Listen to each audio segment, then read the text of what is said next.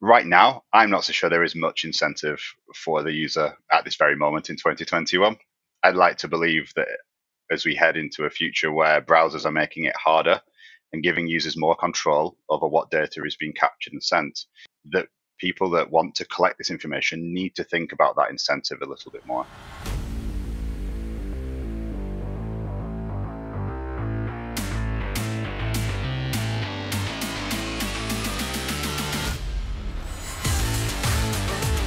Welcome to the Technical Marketing Handbook, a podcast all about the things that go beep in the night and the topics that people working in digital marketing should care about. Join us today for a talk about online analytics with a very special guest. Welcome to another episode of the Technical Marketing Handbook. I am your host, as always, Simo Ahava and I am also the co founder of Simmer, who is kind enough to sponsor this podcast. Today, our topic is online analytics, which is a loaded term if there ever was one. In the most general terms, analytics can be translated as the systematic analysis of data. And this can extend from parsing through server logs to see which pages generated the most requests all the way to complicated data management platforms where cookies are being synced, data is being stitched, identities are being plastered onto graphs, and privacy rights are being infringed upon on a daily basis. It's this complicated mess that makes it difficult in this day and age to define oneself as someone who works in analytics. It seems like it always has to be hedged with something like, but I mean first party analytics, or but I mean just regular behavioral analysis. Because the terms analytics and data seem to have become tainted by all the data breaches, privacy regulations, and squirmy ad tech workarounds out there.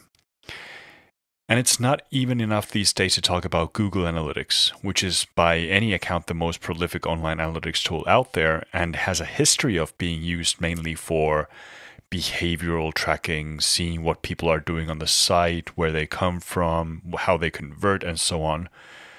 Because GA itself is self admittedly an integral part of the Google Ads experience. And it's extremely difficult to separate Google Analytics from its ad ecosystem, ad counterpart. So it seems to be that our industry, our digital marketing, digital analytics industry has set a standard of data quality that necessarily includes technology that today is considered privacy infringing. The very idea of tracking a user or a session involves breaking through the barriers of the stateless web and utilizing cookies or other device storage to stitch together discrete hits. And this is questionable at best, at least in the European Union, but also elsewhere where privacy regulation and privacy legislation is being drafted. So, analytics as a discipline is no longer the sole concern of the analyst, but instead the collective headache of the entire organization as companies are scrambling to figure out not just the data flows that an analytics tool requires and facilitates but also the clinically obfuscated downstream effects of collecting the data to a third party vendor. So, what's the solution? Well, one course of action is to start moving the technology away from third party vendors into your own proprietary data pipeline. And one of the strongest contenders in this self managed data setup space is Snowplow Analytics a modular open sourced analytics pipeline that offers components all the way from collection through enrichment to storage, real time pipelines, and even integrations with other tools and services. I'm so fortunate today to be joined by Paul Boocock, who's a or the software engineer at Snowplow, working on pretty much all of the components Snowplow has to offer in one way or another but certainly focusing most on the client side SDKs and JavaScript libraries that handle the tracking and the data collection on the web and in mobile apps. Paul is a refreshingly honest engineer, ready to tackle the difficult questions about how tricky it is to keep up to pace with customer needs all the while keeping an eye on the momentous changes in the web browser space we seem to be going through every couple of months or so, and also being sensitive to the legislation around privacy. So it's not an easy task to tackle when developing a service that essentially should give free rein to its users to mold it into whatever makes sense for their business questions. But the difficult compromise is in engineering features that so that they don't restrict the use cases of the analytics platform, but so that they don't also facilitate breaking the law or being unethical while going about the business of tracking. We'll talk about the future of online analytics and, and privacy engineering from an analytics vendor's point of view. And we'll get to our interview with Paul after these words from our sponsor. Are you a marketing or a data professional looking to skill up? Take a look at the online courses Simmer has to offer at teamsimmer.com. The courses are completely self paced, and your enrollment will grant you lifetime access to the material, including any updates. Go to teamsimmer.com and use the coupon code HANDBOOK to get 10% off your course purchase. That's teamsimmer.com.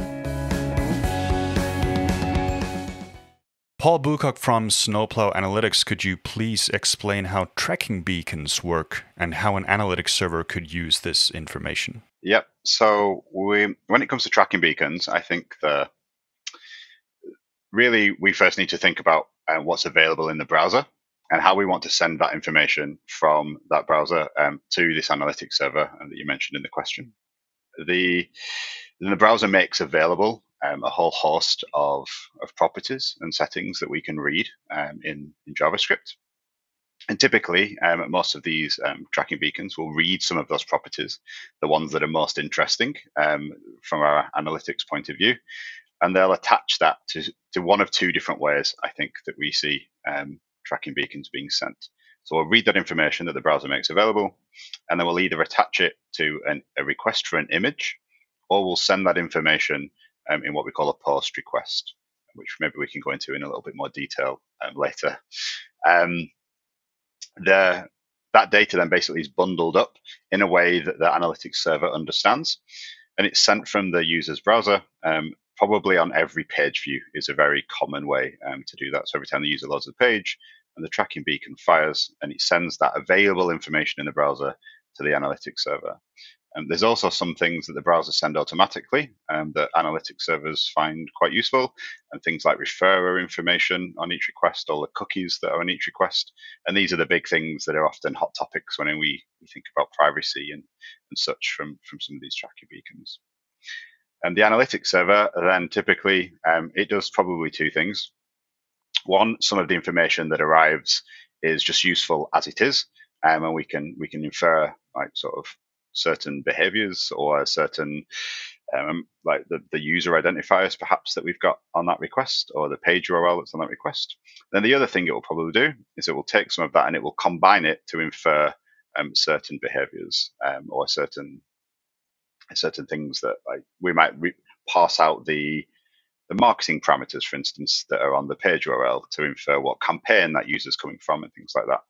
Um, so there's a whole host of information from page information, user information, often session information, um, all the way to, to really simple information such as the just a page URL and, and maybe some cookie identifiers. And it'll be on those those beacons as well. Thanks. When we talk about beacons, um, I suppose it's it's like you said, it's typical to have an image request. So the, the the browser makes a request for an image, and this is the same type of technology we see how uh, you know email marketing is being measured. So the emails have these hidden pixels. Why do you think? Why, why do you think it's specifically images? Why why is it not um, a, a, JavaScript file or a text file or a, or a form being submitted? What's I mean, there's a, probably a historical reason for this, but what what do you think is the reason why images became the forefront in the element that is being used for this?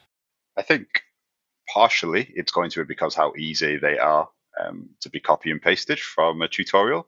So um, it's a one line snippet typically.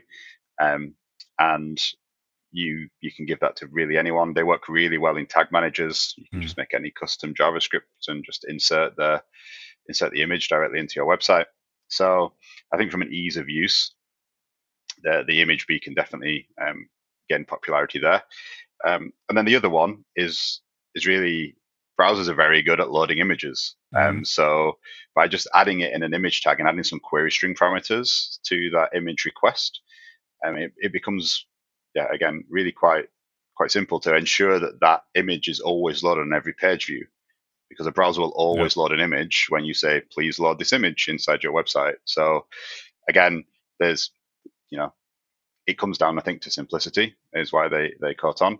And maybe the reason they're going out of fashion a little bit perhaps um, is because they be, it becomes harder to um, sort of harder to to extend that, that the the depth of information that you can that you can track with one right you're limited to what you can place in a query string on on the image um, so if you want to do something more deeper more high quality perhaps um, then maybe we need to start thinking a little bit beyond the, the image beacon but i mean there's still a great place to start and a significant number of providers still use image beacons as their their default option when it comes to sending the analytical request. I think that's an interesting thing to state is that it's because it's so easy. I, I think that especially today, and this is probably going to be a topic we're going to revisit many times during this talk, is that um, tracking shouldn't be too easy these days. I think. I think that's the general notion. I think there's a there's been a huge counter movement against the type of tracking that happens without user input or user agency to control it. And images are probably, for this reason, um, becoming more and more restricted um, due to you know content security policies and other things. Do you think? Do you think browsers are are, are consciously moving towards making it more and more difficult to get this information that is sent with those images. So, to you mentioned things like referrer strings, um, which basically tell what the what the referring page was, and this is one of those vectors that browsers are um, trying to get rid of because the referrer can leak information. Is this a trend? What does this make you feel like as a as an analytics engineer building libraries that need to need to gather this stuff? Do you have to be super conscious and, and sensitive to how browsers are evolving? Yeah, definitely. Um, I mean, things where we can. You know, so the the popular way of tracking with an image beacon is to um, add query string parameters onto the end. But query string parameters are an optional concept on a URL. So it's very easy for a browser to just strip those um, and reduce the amount of information that's being sent on each of those. So I think the ease of use of sort of how, how you can implement one also sort of probably means that the browsers can reasonably easily um, maybe combat all that tracking that we're, we're seeing with image beacons. Um, you know, the referrers uh, in most browsers now are removing the query string by default on a on a referrer, so that information um, has gone. And, and, similarly, on the I know some browsers will block image beacons when they spot them. I mean, just before we recorded this, we're seeing um, Apple changing the way that their mail client's going to work on on, um, on iOS, um, and they'll be they'll likely be removing um, or limiting the use of an image beacon in, in email. So uh, we're definitely seeing a shift. We um, and it, it is going to make it more challenging, I think. Um, but the good news, I suppose, is that by moving away from an image beacon and into something that is a little bit more complicated, um, the opportunities that you have when it comes to, to, the data you collect and the how rich that data can be, I think there's some doors that potentially open um, as we start moving beyond um, classic image beacons. So one of the more obvious venues which many analytics libraries have and still continue to use is um, using a post request, for example, which just lets you bundle more and more data. Why wouldn't a post request be the default? What kind of pressures does it set on the collector side of things? Because obviously, it's not uh, when you when you if I if, like, correct me if I'm wrong, but if you're using an image beacon based setup, you're basically accumulating server logs, and those logs are then parsed for the analysis. But with a post request, you need something more complicated, right? You need an actual API endpoint um, and some programmatic parsing of it. Yeah, so I think you know technology has evolved probably significantly since we started collecting um, analytics from websites. Um, you hear stories from back in the day where collecting server logs was was the way that we all did analytics, but um, he's certainly certainly moved on now. And as as servers have become cheaper, you know, they're becoming more more commoditized with, with cloud providers and um, uh, and you know just the ease that you can you can spin up your own your own technology now um, to run your own APIs, like you mentioned.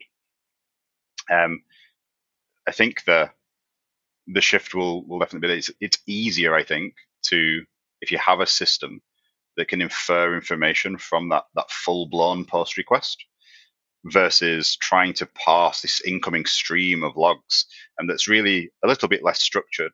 Um, you can't do sort of that immediate post processing on that event like you might do if it lands into a, a fully blown server application. So if you can find some technology that works for you or you can build your own perhaps um, it's becoming more maybe we'll touch on on sort of server side analytics later um, but if you can build that api layer um, to really parse and customize that event as it arrives. Um, you can then probably do more with that when it lands downstream in, in whatever downstream tool that you might be using. So I think it opens avenues and with the, and definitely with how, yeah, I mentioned earlier, how, how much more commoditized servers and things are becoming. And this is becoming easier to do. Right? It's now super simple. Super simple. I'm probably playing it down a little bit there. it's pretty simple um, to to spin up your own your own server now. Right? There's there's serverless things inside these cloud providers that make it really easy um, to spin up and run like pre-packaged solutions that give you some of this um, capability in terms of having a, a full-blown API that you can send your analytics events to, rather than simply parsing server logs.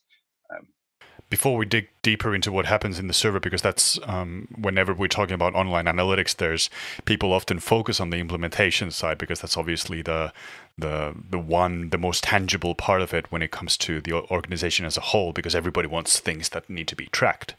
But before we go there, let's um, quickly visit this idea that when we have browser-based trackers, um, they are essentially, you know, they're typically JavaScript, but they could be just HTML, HTML as well. But they're typically dynamic code running in the client, and this analytics code rarely does anything functional on the site. It rarely creates or causes anything to happen. It's just a side effect of things that already happen on the site. So when you think about in in, in these terms, that it's really not beneficial to the user directly to allow their data to be collected, like in terms of what they see on the site. And on top of that, when you add the heaps and heaps of data that an analytics vendor could collect with JavaScript alone, um, they can collect fingerprints, they can collect information that is beyond what the user has consented to. What is the in, in 2021? What is the incentive for the visitor to allow their behavior to be tracked? Why should they ever agree that hey go on collect my data. What's what's in it for them? That's a rather uh, hairy question isn't it? Um, I, right now i'm not so sure there is much incentive for the user um, at this very moment in 2021 um, i'd like to believe that as we head into a future where browsers are making it harder and giving users more control over what data is being captured and sent um, that people that want to collect this information need to think about that incentive a little bit more. Um, I'm seeing some some um, clients that we work with now. Um, they are they're thinking about we're not just collecting this analytical information for us, but we're collecting it to build a better product. Um, so that might be to give the users better recommendations on their website, right? If I go to a website and it understands me more and therefore recommends things to me that actually improve my experience on that website. And that's something that I'm I'm cool with that, right? I don't like being tracked, um, which is um, interesting given I build uh, quite a popular tracking library, but I'm I'm okay with it if I'm getting something back, and I think that's where we need to switch to. Um, it needs to be a two way two way thing. Um, someone spoke, I was speaking to someone once, and they they said my data has a has a value to it. Not really sure what that value is. Um, but there is an intrinsic value to me giving away that. Um, so I want something back for that. Um, and I can like to think of it as like a money tree sort of thing almost because that's easy to understand. So uh, if my data is worth sort of 50 cents or 50 pence, then what can that website give me back um, in terms of th- that value, right? If I allow myself to be tracked by them there must be some value to them to tracking me. They're getting something out of it. Their marketing is more effective. They're understanding their users more. and they're selling more to me because their recommendations are better, um, that's worth something to them. So I want a little bit of that back, please. And what can they give me back um, that's worth that value? I think that's a, a big question. I'm not sure we've got a good answer to that um, yet, but it's definitely a direction I'd like to see. I'd like to see us explore a little bit more um, as an industry um, around that in, that incentive. Um, however, I think still all, the cookie banners are so prevalent now. People just click accept. Um, so I don't know how many people realistically are blocking mm. these banners that we can't still infer enough information in our sample sizes um, to, to still make use of it without needing to incentivize further and offer further benefits at the moment.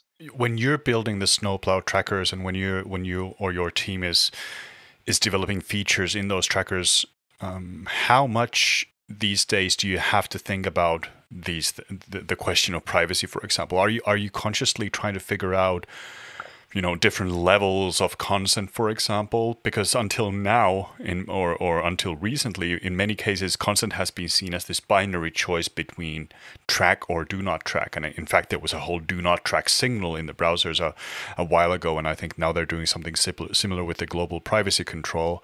But first of all you know is it possible legal legal advice aside because neither of us as far as i know is a lawyer but do you think it's possible to collect data from a user um, without it being in any way identifiable back to an individual? So we could maybe not need consent to do that. Do you think that's a what's your view is there a supercomputer that can identify the user with just a few you know behavioral signals for example even if the data isn't isn't there at all yeah, so we have thought about like these levels that you described. Um, we recently introduced a feature called anonymous tracking, and there's different levels of anonymous or anonymity um, in that um, in, in, that feature. So we've got no user identifiers at all. Um, the, there's no session identifiers in there. The only real thing that you could stitch multiple events on is the page view identifier. So if there's multiple events on a page, that's about as as detailed as it gets in terms of stitching multiple events together. But within that, there's then granularity. We can do just session tracking. That suddenly introduces browser storage, though, to be mm able to do that. So then the question of consent becomes, you know, probably right. uh, required, I suppose. Um, then on then the, the top level, I guess, is, is like full user identifying identifiable tracking. Whether going all the way down to no user identifiers and no session identifiers means you don't need to ask permission. I'm not so sure. Mm. Um, I still think really we need to we need to be asking the users um, whether they want to be tracked. But also, it probably depends what you're doing with that data.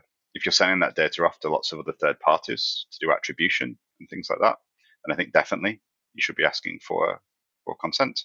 I think if maybe you're just using it in a first party context um, to understand how your product is better used and there's no user information in there, then maybe, but I still think it's very grey. Um, and yeah, I'm not a lawyer, so I'm not probably willing to offer that advice. I think it is use case specific. Um, and the thing to watch out for is even with no user identifiers, no cookies being stored yeah. in the browser, there's still significant amount of entropy that is data which is probably quite specific to that particular user on that event that maybe you could still figure out a fingerprint yep. for that user server side. And that's where really it's very gray.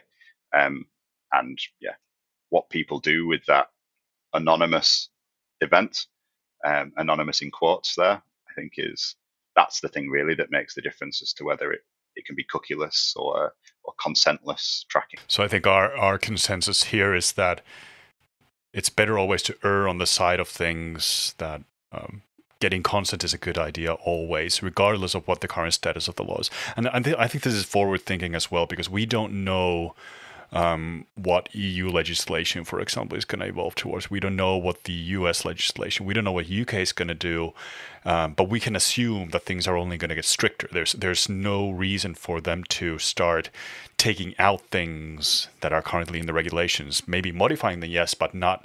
You know, EU isn't suddenly going to um, say that, hey okay, you know, we used to say that all personal data is evil and or, or we don't collect any personal data without legal basis, but they're not going to suddenly say that okay, IP addresses are fine now after all. We gave it some more thought and they're fine after all, so keep collecting them for analytics purposes.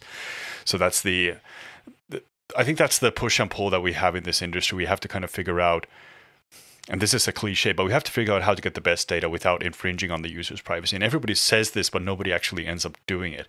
So I'm just like really curious from an engineering point of view, how do you engineer privacy into a system? Like, for example, you mentioned the word anonymous, which um, sounds like a fairly self-evident thing, but but it has such a there's so many so much complexity not just in a technical point of view but also from a legal point of view what is legally anonymous when we look at the gdpr text for example so it's just uh, I'm, I'm wondering like how much when you're designing features um, do you think that privacy has entered your mindset and your team's mindset when you're developing these features more over the last years or has it always been present um, of course, hindsight 2020. But what do you, what do you think? Is it is it more prevalent these days? Yes, I think so. Um, when we're designing the defaults, and so I think I should step back a little bit. The snowplow tracker that I work on is incredibly flexible. Mm. It offers a huge amount of options in terms of how you track um, on your website. So, with that in mind, the real like you can definitely collect a lot of user information, a lot of things that, you know, IP addresses, user identifiers that are stored in cookies, local storage, session identifiers, um, all the referrer information that we've earlier discussed. All of that can be collected. Um, but because of this customization that it offers, you can also not collect a lot of that information. So the shift that we've made, I think, is by having like sensible defaults, trying to work out what are good defaults that both are useful for the clients of Snowplow, the people that are using the Snowplow trackers, but that still have a, a more privacy focused sort of default. So a, a reasonably recent feature um, was the new client hints yep. um, change that, that Chrome's bringing in when they freeze the user agent string. Um, there's two levels of client hints that you can read in JavaScript. There's sort of the the base one, and then something that's called high entropy um, client hints. These are client hints that can be more easily used to fingerprint users. So, for instance, we implemented client hints as something you could capture. Um, but by default, it just captures those base two, which is like browser and the version of the browser, just to give you some information of what browsers your users are on. Uh, if you want to, you can ask for the high entropy values. So that's another level up, which is definitely more let's call it privacy infringing. There's more entropy in there. It's more fingerprintable um, downstream. So um, that's the that's sort of what we're playing with here. There's often multiple levels of what we can have, and it's about having these good defaults that that are still useful for users who are capturing this data and wanting to perform analytics on it. But also, we're still we're starting to inform those those users about like this is a more privacy oriented default maybe we should think about this being the right way to capture data. You know, so there's a big education piece here around what can I do and what can I can't what can't I do if I do or don't collect this piece of information. And I think that's the big thing. Historically, we've been let's capture as much as we can mm. because then we'll be able to infer more useful information from this wider set of data. But now that comes with risk. We've got GDPR, we've got changes in legislation potentially in the future. We've got countries that have got different sets of rules depending on, you know, where the user is.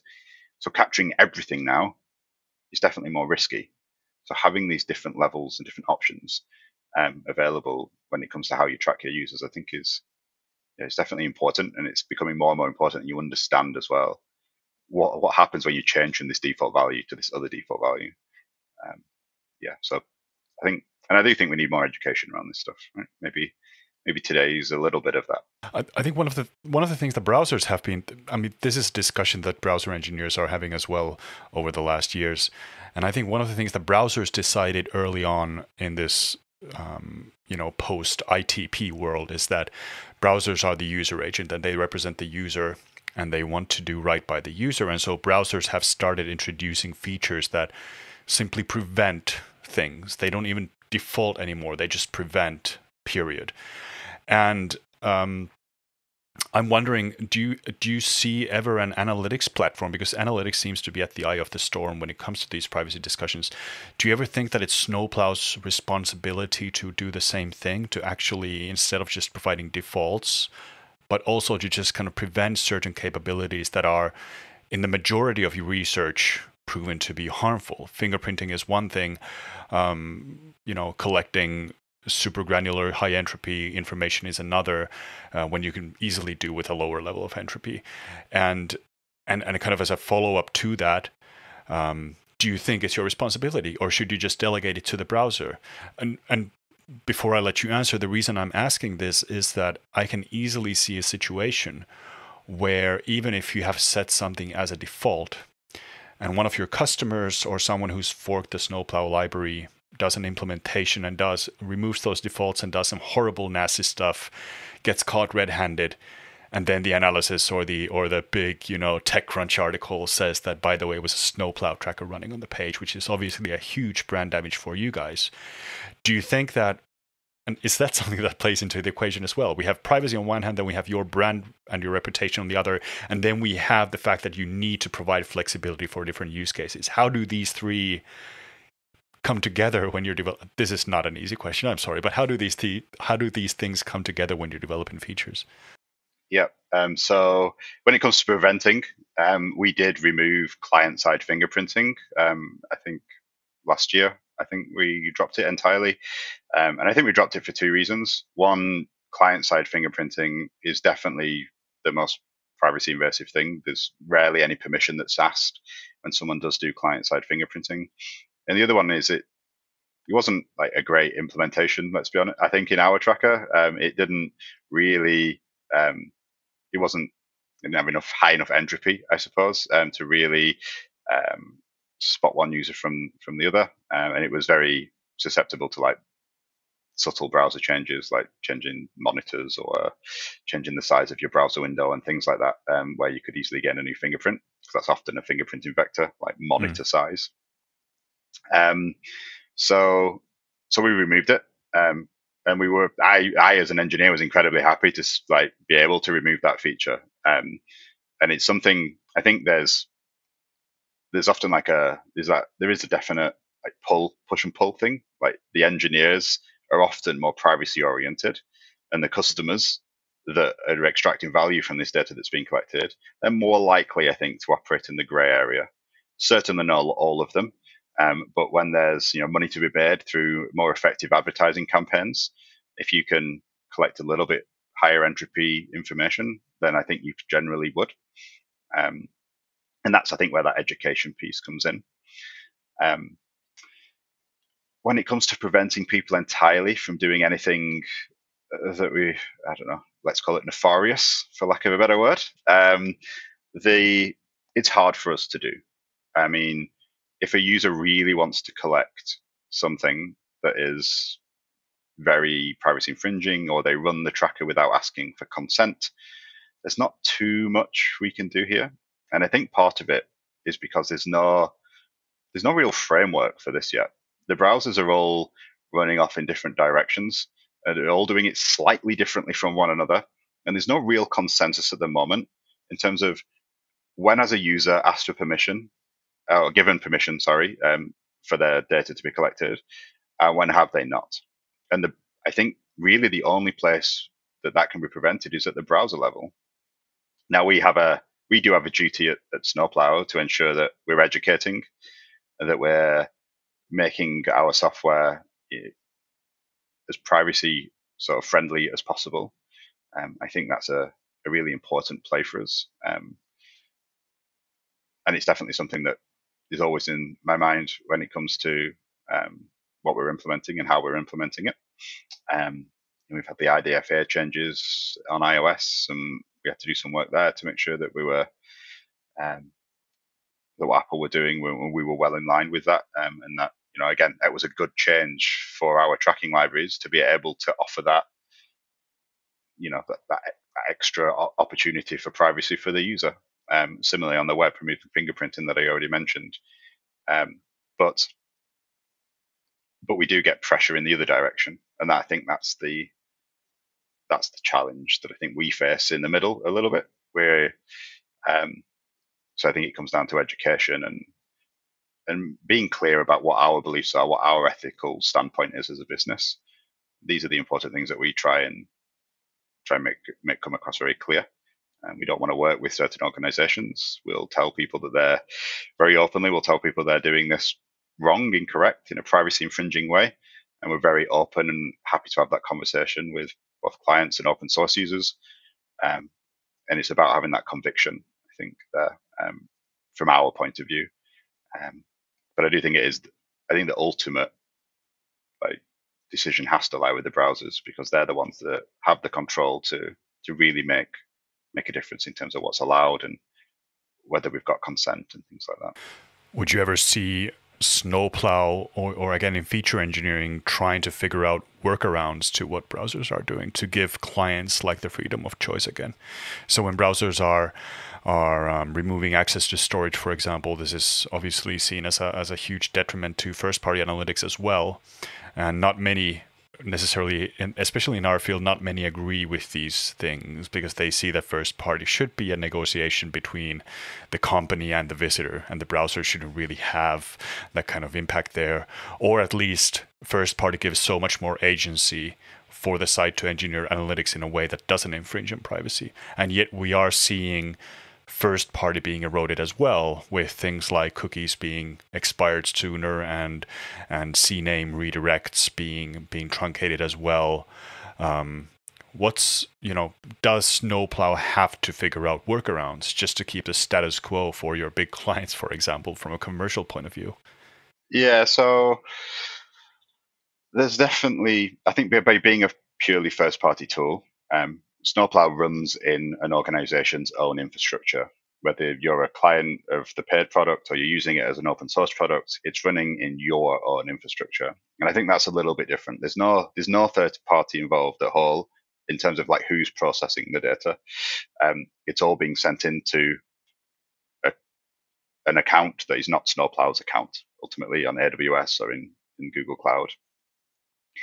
I think that, however, doesn't mean that we can suddenly start working around all of the efforts the browser manufacturers uh, are, are doing in terms of protecting people's privacy. But there are pieces of education we can do to ensure that a snowplow pipeline is or has the best chance of collecting as high a quality data as possible, whether that be running it on a first party domain so that the collector is running on the same domain as the primary website, whether that's customizing the path that we send our post requests to um, to ensure that ad blockers don't always block snowplow tracking.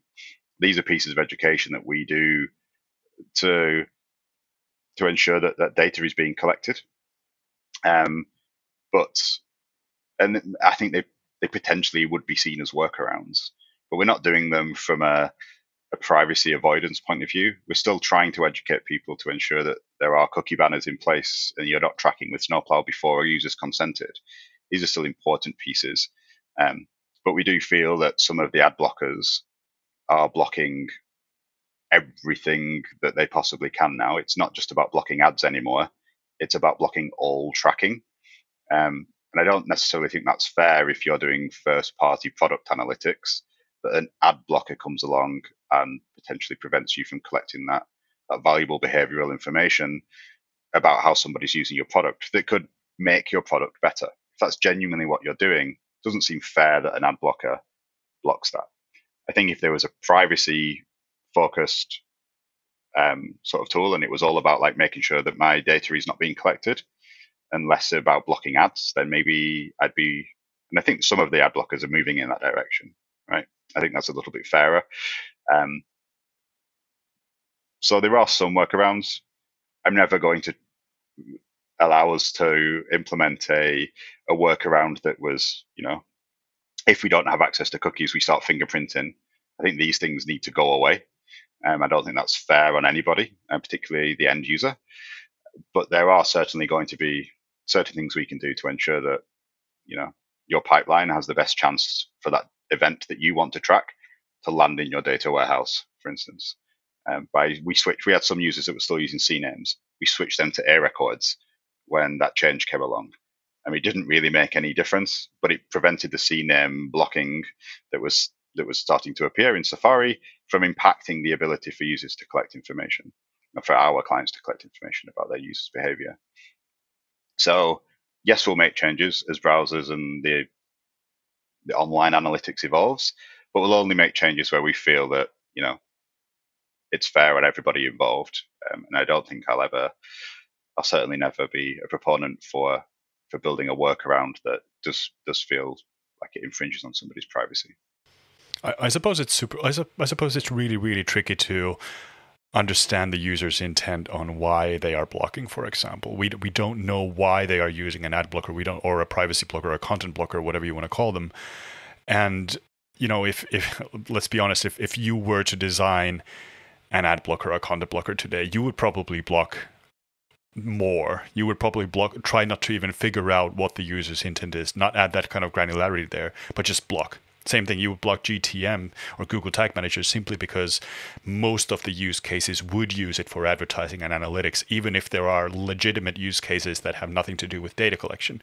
And similarly you might want to block um, snowplow even if even if in most cases it's used as first party um, consent only privacy friendly way you still have those who don't. And, and it's from an engineering point of view, again, an, an ad blocker that is already an optional install, that's an opt in for the user in most browsers, um, it would make sense to just keep blocking. But I do understand the frustration, and I would imagine that um, again, this is probably not Snowplow's problem to solve because Snowplow's tracker is running on the first party domain, and the first party domain is the one that's being blocked by these ad blockers. So the you know if if um, a large enough site notices that that they're not able to collect data and, and, and the blocking isn't done fairly, they can obviously raise this in the ad blockers discussion forums because most of those are open sourced. But it's tricky. Yeah, I think one of the things to think about here is whether it matters if a lot of your users are running ad blockers or not.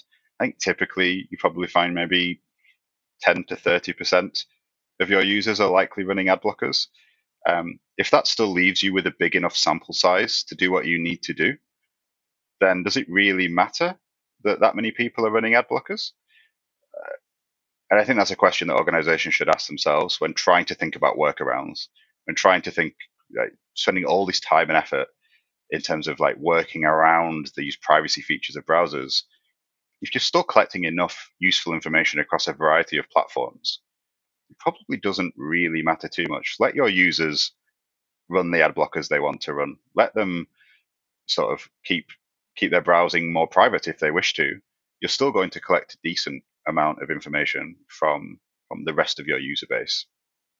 Um, so maybe, yeah, maybe we do spend a little bit too much time thinking and worrying about these privacy focused changes. I think the bigger ones where an entire, you know, a huge percentage of your users use a particular browser and that browser brings a change in that has a huge impact, then yes, worrying about those is important. Um, but I think worrying about people that are installing optional ad blocking technology into their browser, maybe we don't need to worry about those as quite as much as maybe we do sometimes. Right.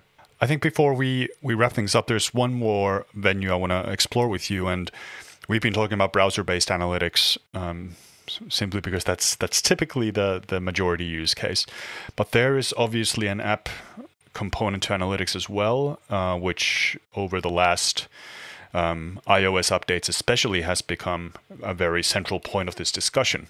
But uh, I, I, am interested more in, in, again, from an engineering point of view, what extent are the principles that you apply when designing a browser based tracker like the Snowplow JavaScript library? Um, how relevant are these principles when you're designing a tracking SDK for mobile apps? I think they're pretty similar. Um, there's a huge amount of crossover particularly in terms of how the data gets sent and collected. So much like the browser makes certain pieces of information available um, for um, to collect, the mobile SDKs that are available on Android and iOS, they also make a certain selection of information available um, to um, to be collected. The big difference, I think, around the two at the moment is that the mobile platforms, because they're typically a little bit more closed, and there's less open perhaps in the internet. Um, there's a lot more permissions based features available for end users. So I'm sure we've all had an application ask us for permission to access our location, um, something along those lines. There's a lot of there's a lot of granularity now in some of those permissions that you can ask or be asked for as an end user, um, and this this gives more control to the end user about what data is collected. Um, so we need to be aware of that um, when building the library, the SDKs for doing the tracking. These the the APIs that we use in the SDKs to talk to the the operating system um, the mobile platform. It will there'll always be this opportunity for us to get denied access um, to that piece of information. So we've got to be able to handle that, and we've got to make sure that we go in a particular path. Um, so yes, we get access to location information. Okay, we can track that if the users give permission, or we've been denied access to that. Therefore, that information is not attached to the event. We're a lot more aware of that um, right from the start on building the mobile SDKs, and I think that's part of the change that's happening over in in the browser world now. Fe- more and more features are becoming ask permission. Locations already become that in the browser. That client hints one I mentioned the idea of being able to get high entropy data. It's been designed in a way where the user has the option um, to permit that or not. Although no browser yet asks, um, I think it's been designed with that in mind. So I think that's a shift that we'll see in the web, um, but that's already there in mobile. Beyond that, they're pretty similar. Um, where you've got a page view, we typically think we've got a screen view, and we can still do session and user tracking. Um, arguably, user tracking is easier because uh, one person has one phone usually, um, and the installation of the application is usually long, quite long running. People rarely reinstall the applications um, that they have on their phone. So the idea of a user ID is typically um, very easy to tie to the lifetime of an application install. Um, so there's things like that. They're very easy to do on mobile. They're a little bit trickier um, in browsers. Um, and there's also been a lot more education on browsers around like clearing your cookies more frequently or having settings in the browser to clear your cookies every time you you quit your browser or reboot your computer. Um, that mean those user IDs reset more frequently than typically we would see on a on a mobile platform. Um, so there's some benefits to mobile tracking and there's some cons to mobile tracking, um, but on the whole, they're, they're reasonably similar in terms of how uh, how you want to track your users and how you want to collect the data on your users in those platforms. I suppose it gets tricky as well with the the additional overhead um, uh, because you now have to think about device battery as well. On a computer, when you're browsing, you're you're probably logged in or you're probably plugged in, but on a mobile device, um, especially network requests and and they eat up your data plan, they eat up your bandwidth, which I suppose is the reason why many um, many SDKs automatically, for example, prevent data from being sent when the app is backgrounded.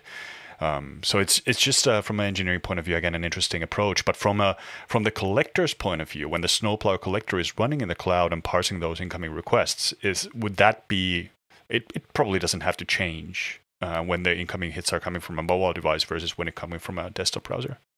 No, we have a common protocol that the collector understands and we both the web and the mobile they both send data in that common protocol um, however there is definitely certain very like properties in that protocol that are more web oriented because that's what it was designed for page url doesn't make um, a huge amount of sense on a mobile platform um, typically unless you're in like a, a web view um, like it does on the on the web right so that's something where there'll be probably less properties on the mobile platform in the in the core. We call it the canonical event, the base event, um, but there's a lot more contextual information that you can add to event and um, to an event on mobile. Things like battery life is a great example. Um, as something we're actually investigating now, um, like adding that battery information as contextual information um, to every event, so that you understand the battery drain that your application causes. Right, I think that's a really interesting piece of product analytics that you might want to want to look into when it comes to your application. Um, so, yeah, same event type, same um, event structure, but yeah, different parts are, are certainly populated when it comes to web versus versus mobile.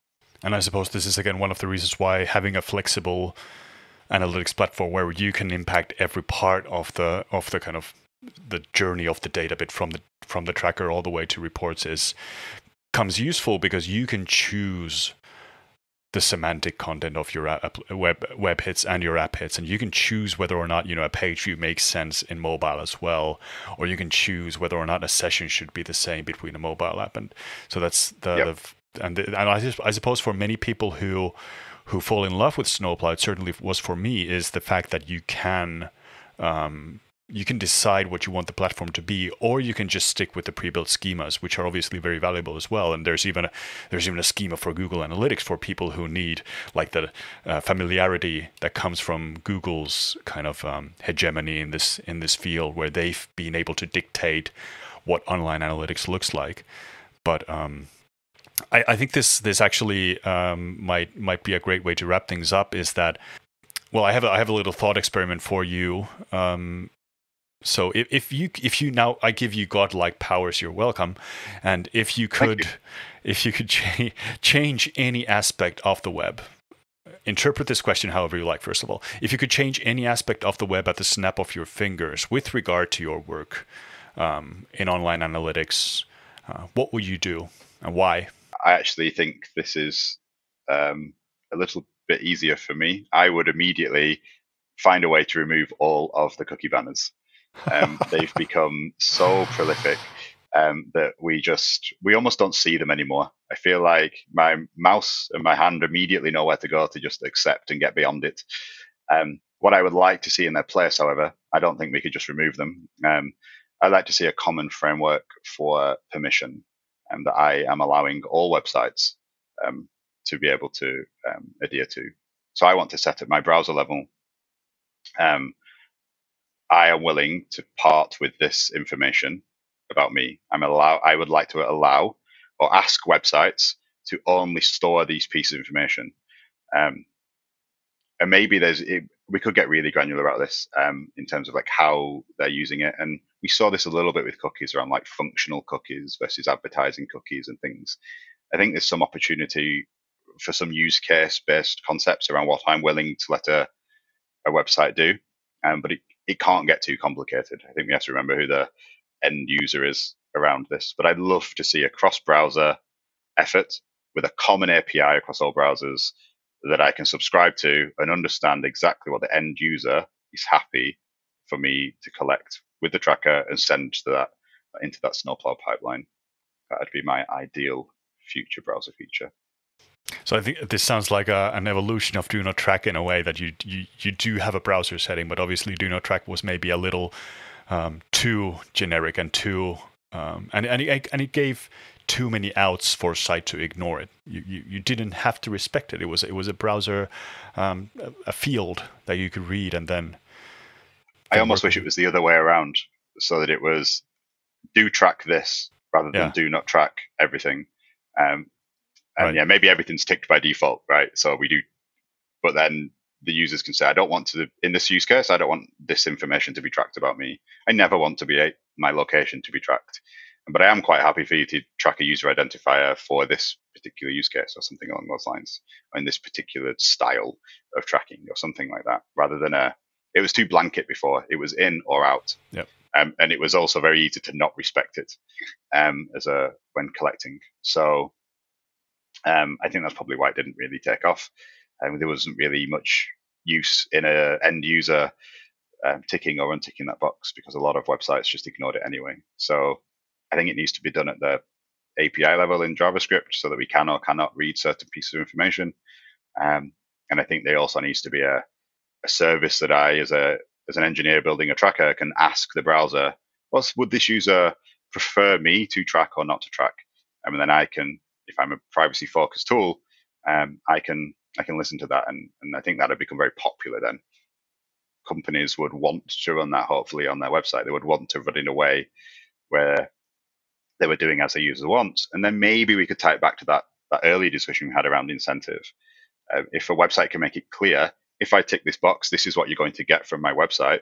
If you're allowing this information to be tracked, um, then you're going to get better recommendations. You're going to get a better experience and it's all about building that system. There's a there's a value for everybody in sharing data, um, but it's about doing it in a way that everybody's happy with. And yeah, that'd be my very idealistic future state um, that we end up in. Well, if the if the snapping fingers didn't work, let's hope that somebody out there is listening who who can actually make these decisions. I think that sounds like a like an interesting use case, and and certainly uh, might be related to. Um, some of the work that's being done with things like the global privacy control and maybe even do not track's future evolution, but that does sound like um, like a, a, good compromise between uh, moving things to opt in, but still having um, a way to globally say something without sacrificing that uh, granularity of purpose. That I just want example, rid of all the cookie banners. Yeah, I think we all do. I think we all do. I, there, I think there are some even some like browser extensions that yeah automatically click yes to um, all of those. But yeah, that's a that's a that's a beautiful future for me in my view as well from a user experience point of view. All right, Paul, thank you. It's been a it's been a great talk with you. Very interesting stuff. Um, obviously, we slipped into, into into the privacy territory a lot because this is uh, a, a, very topical thing, as it should be, and as as it's been for years now. But it's always interesting to hear an engineering perspective too to these things. And you've been doing a lot of valuable work with Snowplow, and Snowplow, for anybody uninitiated, is certainly a platform to take a look at um, especially today when the when the big ones are having all sorts of turbulence in their ranks and, and enterprises might be looking for for something different as well. This is not an endorsement. This is a, a, a fan of Snowplow um, saying these things. Thank you so much for coming on the podcast, Paul. No worries. It's been great to be here. Thank you very much for having me. Thank you again, Paul Boocock, for that interview.